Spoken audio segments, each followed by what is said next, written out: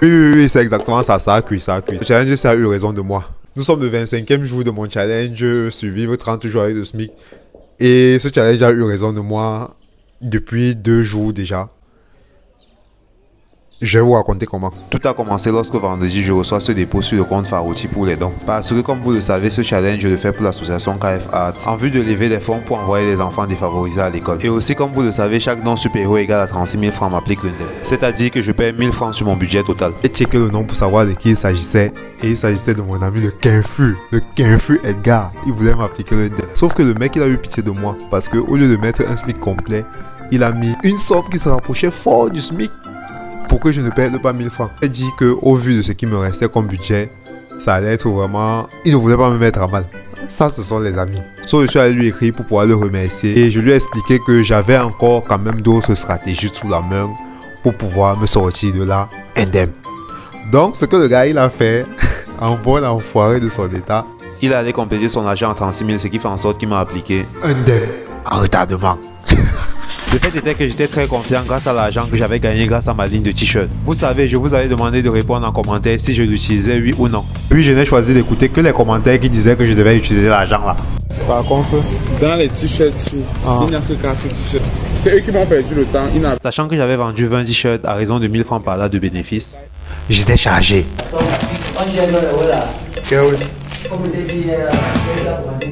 Ah. C'est du lourd.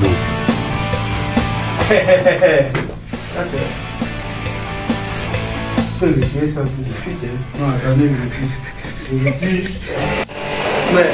il faut faire comme ça là.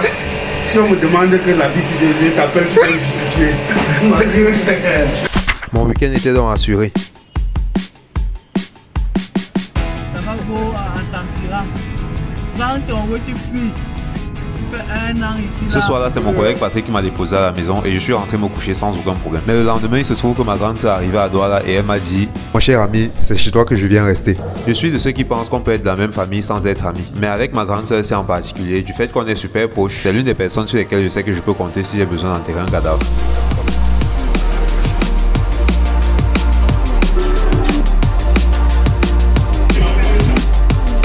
Je te dis que je suis à Sainte-Monique, tu peux me chercher dans l'église, mon cher ami Julien. Tu à Sainte-Monique, tu peux me chercher dans l'église. C'est en face de l'église, mon cher ami.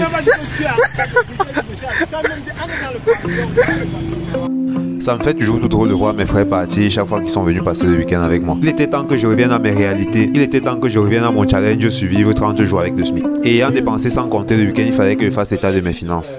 Ça, c'est ce que j'aurais fait si j'étais quelqu'un de responsable, n'est-ce pas? Frère. Mais mon bon gars cool était là. Je devais absolument lui payer un déjeuner. À Douala, c'est du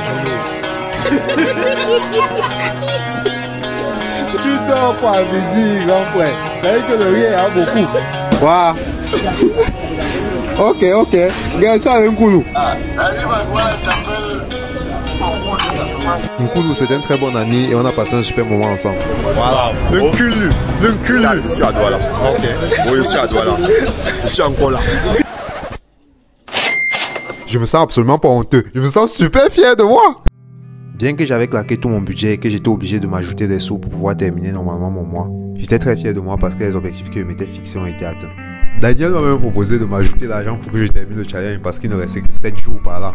Mais ce challenge, je ne le faisais pas seulement pour les vidéos, c'était vraiment un challenge assez personnel. Et j'estimais que si j'avais échoué, je devais accepter que j'ai échoué. Ça ne veut absolument pas dire qu'on arrête de faire des vidéos. Parce que ce que vous ne savez pas, c'est que à côté de ce challenge, j'avais un gage. Ça, on en parle dans la prochaine vidéo.